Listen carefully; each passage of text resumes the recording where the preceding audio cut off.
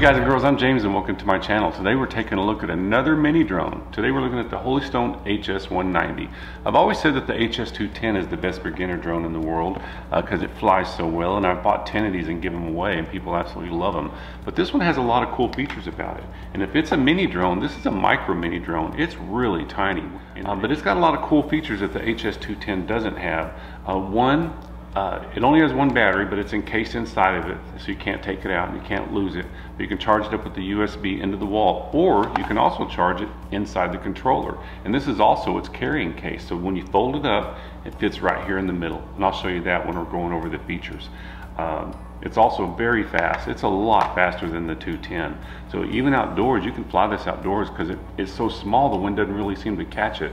And it has a lot of power. It also has the spin feature. I really like that. And this is the price of the drone on Amazon right now. So why do I review mini drones? Because mini drones are so important. You got to learn the orientation of a drone. Because people go out, and I go over this on all my mini drones videos, that they go out and they buy a drone, they come home with something like this because they don't learn the orientation of a drone. So the orientation of the drone is the same as a big drone. And what I mean by that is they both Look at this thing. I just got the Skydio 2. Can't wait to fly this. I just got it yesterday. But anyway, the, they both uh, pitch forward and back. Uh, they roll left and right. They yaw left and right. And then they go up and down.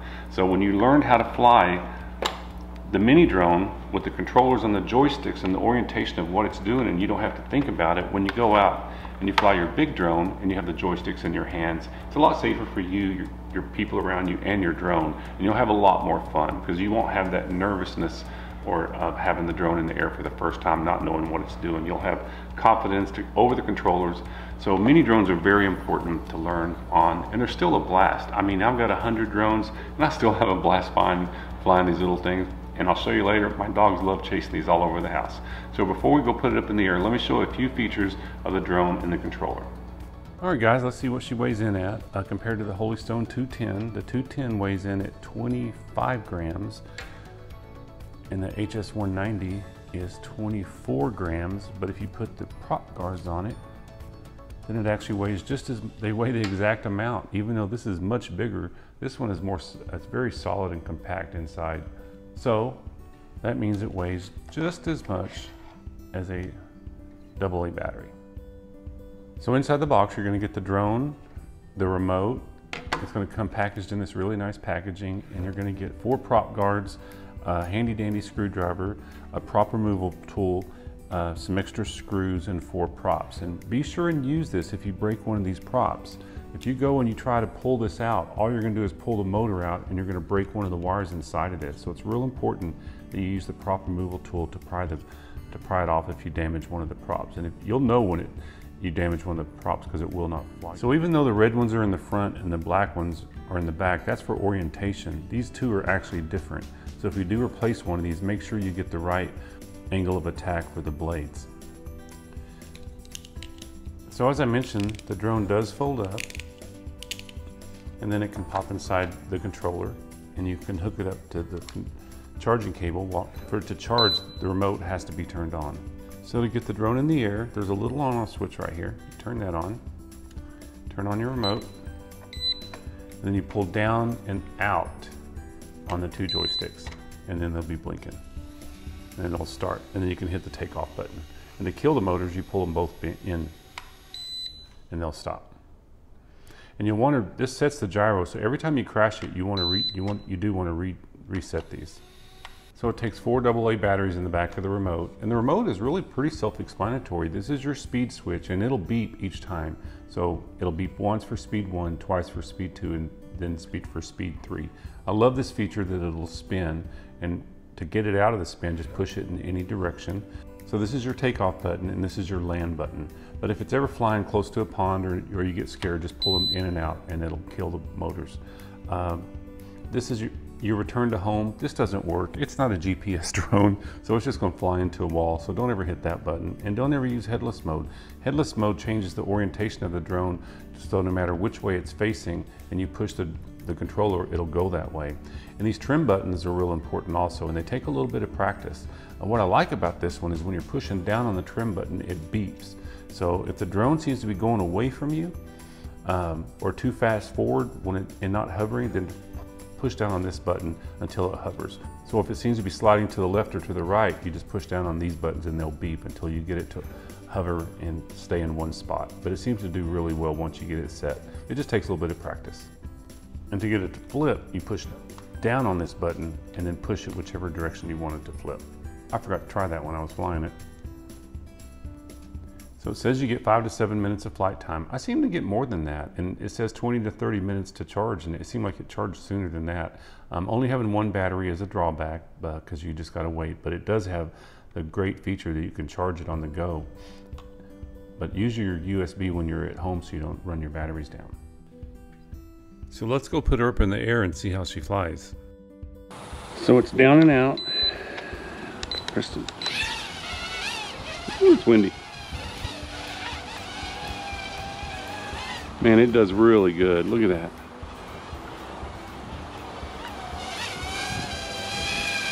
You can tell by the pond how windy it is.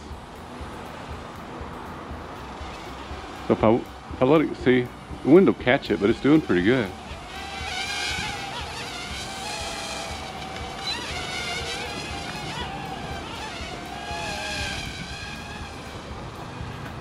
And I bet you coming back with the wind, this thing will fly. wow. You know, it's so small, the wind doesn't even really, doesn't really catch it.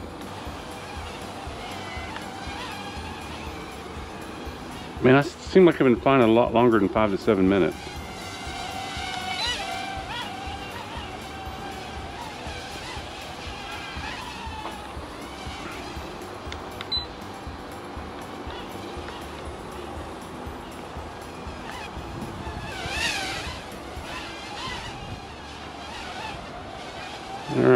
So we're gonna hand land it. Ow! Don't try hand landing it in the wind. Those hurt. I wonder if we're still on speed one. So the way you can tell is by the beep. So you hit speed. No, I think it was three beeps. There's one beep, two beeps, three beeps. So that's speed three. Watch this thing. This thing's really fast. Oops. okay. Crashes really well. It's down and out. I'm not used to that. You're used to, usually it's down and, man, that's a really, really bright light. So I'll, I'll get my dogs out here in a minute and let them chase it. Ooh.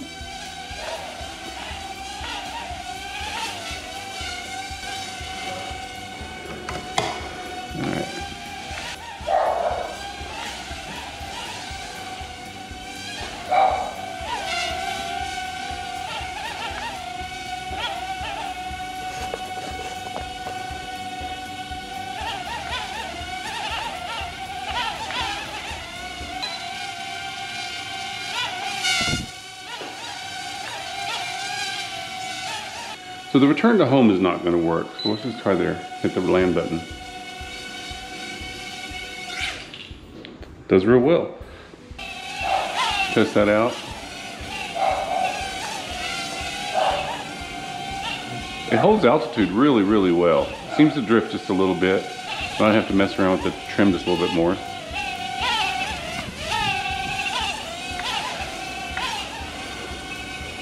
we're still in speed two.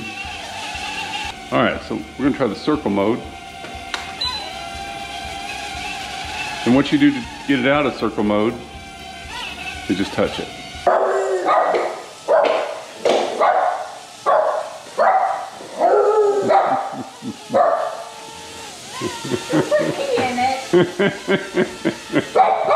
All right, guys, this may seem pointless just watching my dogs run up and down the hallway, but there's actually a really good point to this.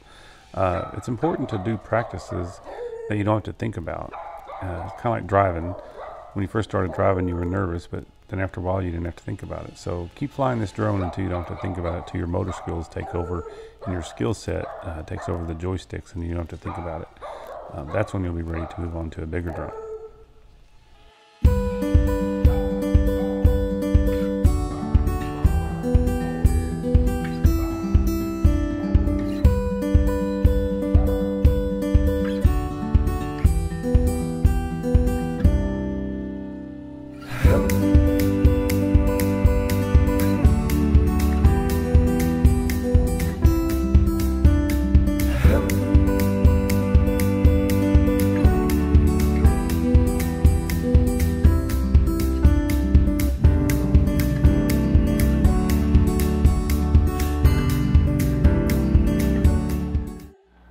Thanks so much for watching my review of the Holy Stone HS190. And uh, I still think the HS210 is still the best beginner drone. And the reason why is because there's no quirkiness to it, there's no latency to it, the fluidness of the controls, it's extremely stable, it just flies perfect. It really does. I can't imagine there being a mini drone that outperforms this. But for fun factor, this one beats it. It really does. I love the spin factor on it. It's a lot faster. You can put it in the controller and take it with you. Um, so if you're trying to decide which one to buy, buy both. You can't go wrong. Uh, they're a lot of fun. So if you got something out of this, please like and subscribe. Subscribers mean everything to me on this channel. And I got a lot of other mini drones coming up, mid-size, full-size. Now I even got some boats and cars I'm gonna be doing soon, but I'm still gonna stick to the mini drone theme for a while because these are the most important things when learning how to fly a drone. Uh, so I'll see you in the next one.